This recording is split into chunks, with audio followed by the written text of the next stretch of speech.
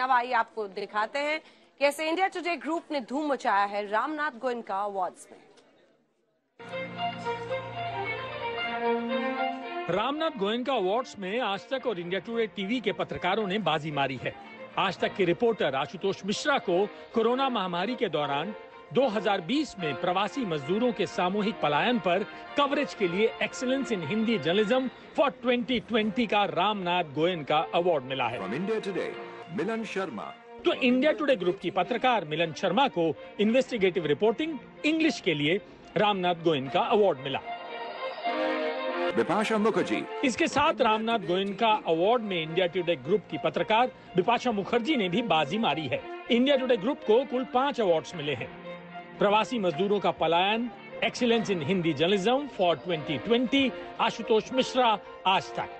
2020 graveyard records investigative reporting English Milan Sharma India Today TV 2020 long story why PFI politics and government Bipasha Mukherjee business and economic journalism investigative journalism print Aaj Tak bureau